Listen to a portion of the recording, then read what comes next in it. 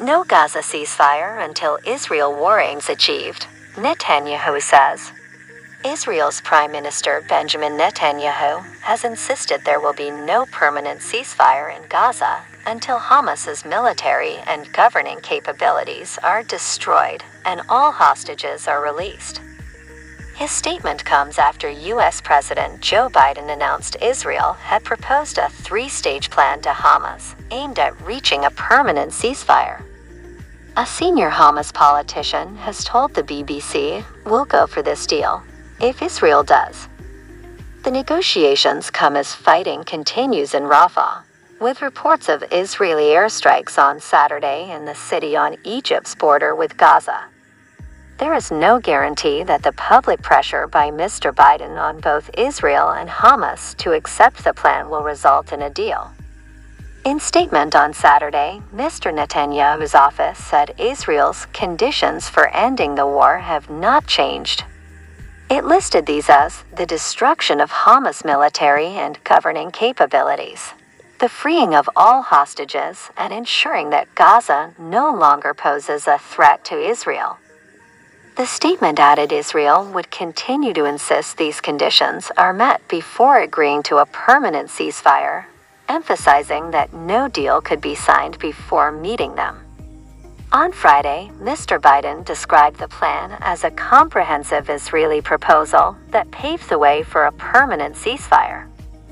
The first phase would include a full and complete ceasefire, the withdrawal of Israeli forces from populated areas, and the exchange of some hostages for Palestinian prisoners.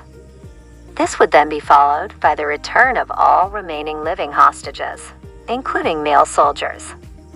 The final phase would see the final remains of any deceased Israeli hostages returned, as well as a major reconstruction plan with U.S. and international assistance to rebuild homes, schools, and hospitals, Mr. Biden said.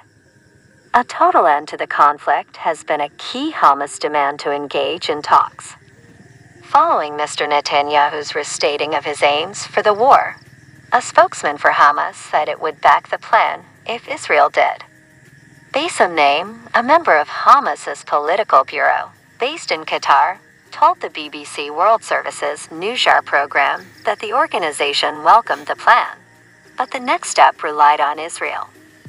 In response to Mr. Netanyahu's statement, he noted Israel's aims might not have changed, but it also had not achieved them.